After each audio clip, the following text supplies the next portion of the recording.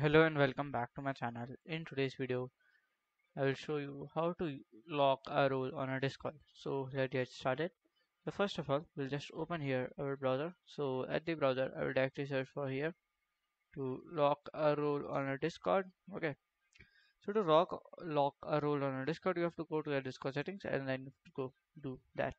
So let me open and see. Let's See like just open here Discord. Okay so after opening your discord like here okay.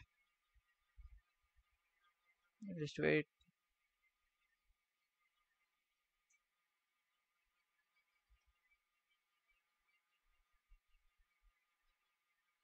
So from here you can just go to the server okay.